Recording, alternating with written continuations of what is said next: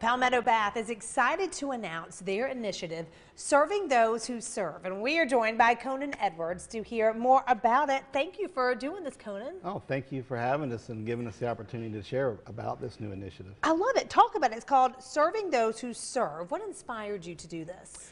Well, you know, we do what we do every day because of people who go out and serve our country, our community, in the armed forces. Of course, we'll be talking about that, but also law enforcement, uh, first responders and fire service, healthcare, all kinds of different types of things. So right now we're going to be doing something for our veterans, but even in, later in the future we're looking forward to doing something like this for first responders as well. I love it. And what all are you going to be doing?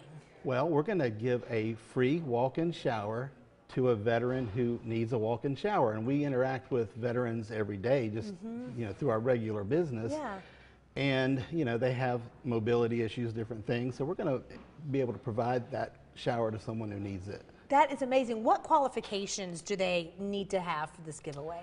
Well, first you need to go on our website, palmettobath.com, and there's an entry form. There'll be a logo down there. It says Serving Those Who Serve, and you just click on that and completely fill out the form because we have to qualify you. You do need to be a United States veteran.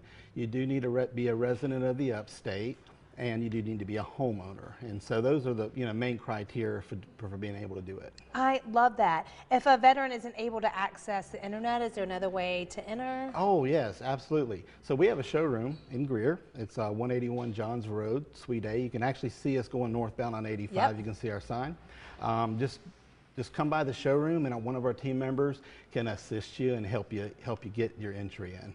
I love and two talk because we love supporting local. That's what this show is all about. We want all, you know, any local business owner to feel like, you know, because y'all do so much. What do you think the benefit is?